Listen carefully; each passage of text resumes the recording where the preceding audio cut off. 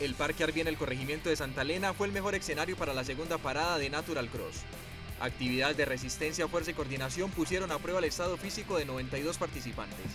En realidad pues esto es de mucho estado físico. Eh, uno tiene que tener pues un buen rendimiento para poder rendir en todas las pruebas y tener un buen resultado. Las mujeres han venido ganando espacio en la práctica de actividades que por su exigencia han sido consideradas de uso exclusivo para los hombres que demostramos mucha agilidad, mucha fortaleza. Las mujeres vamos incluso en equidad, eh, igual que los hombres, ya, ya no es como antes que los hombres siempre eran los fuertes, las mujeres ya les estamos dando la talla. Claro que algunos hombres vieron durante este desafío unas competidoras fuertes que hicieron más pareja esta válida. De por sí acá se trata mucho la igualdad, entonces siempre trata de ser muy, eh, muy equitativo entre competencia entre hombres y mujeres.